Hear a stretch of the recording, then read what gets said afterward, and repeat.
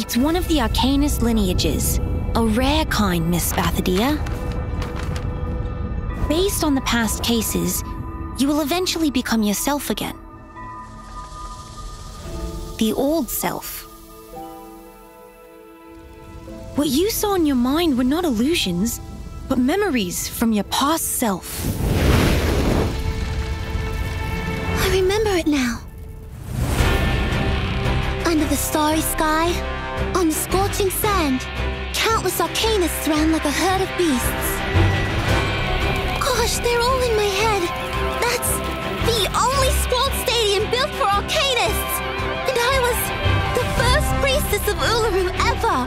I don't think any arcanist would say no to witnessing the revival of the once magnificent games.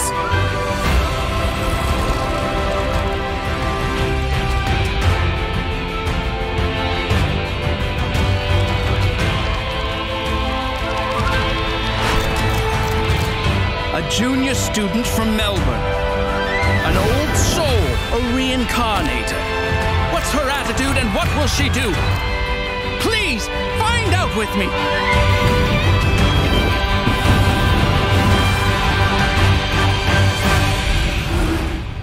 Come on, Flammy.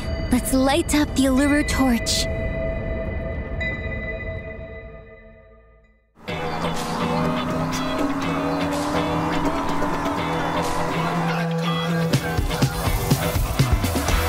In the future, I think I will continue to hold the Uluru Games.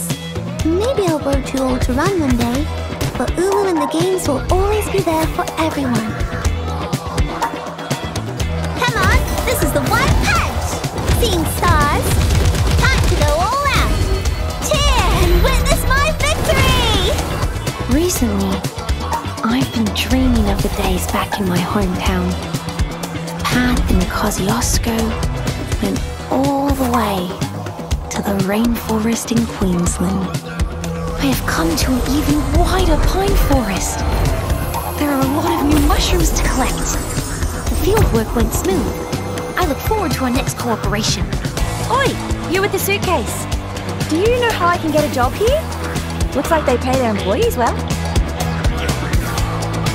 You frauds never stop coming up with new scams. No cheat, no eat. Heard that before? Aha! This is what we call the hammer of justice. The fire brings down weeds in the field, and the rain lets the seeds germinate. The circle of life is